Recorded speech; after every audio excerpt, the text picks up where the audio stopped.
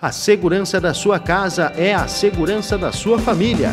A Manebox disponibiliza de uma linha completa de cerca elétrica, câmeras de vídeo monitoramento e alarme residencial.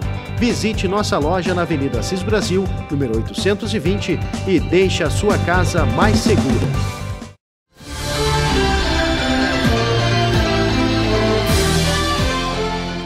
A sessão da Câmara de Vereadores desta segunda-feira, 7 de agosto, tem na pauta quatro emendas modificativas ao projeto de lei número 024 de 2017.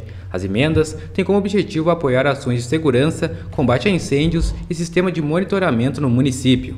A emenda modificativa 004 de 2017 tem como objetivo manter o cemitério municipal em condições com cercamento lateral, frontal e fundos, portaria 24 horas, além de melhorias na capela mortuária e iluminação interna.